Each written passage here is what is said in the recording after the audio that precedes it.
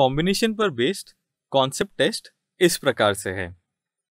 इसमें हमें 15 प्लेयर्स दिए हैं, जिनमें से केवल 5 प्लेयर बॉलिंग कर सकते हैं।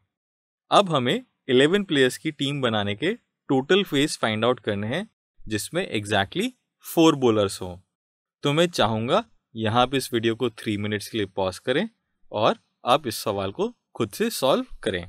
आई होप आप सभी ने इस क्वेश्चन को सॉल्व कर लिया होगा। अब हम इसे डिस्कस कर लेते हैं।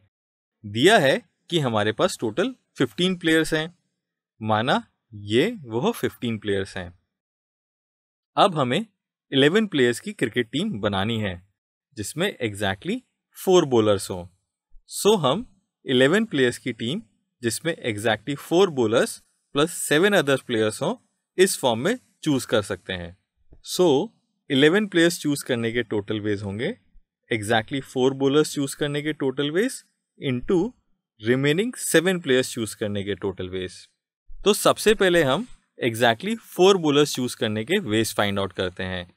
माना ये फाइव प्लेयर्स हैं जो बॉलर्स हैं। सो फाइव बॉलर्स में से फोर बॉलर्स चूज़ करने के total ways five C four के इक्वल होंगे। नेक्स्ट रिमेनिंग सेवन प्लेयर्स को चूज़ करने के टोटल वेज फाइंड आउट करते हैं।